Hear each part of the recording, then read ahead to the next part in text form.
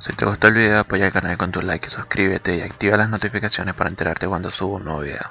Hasta la próxima.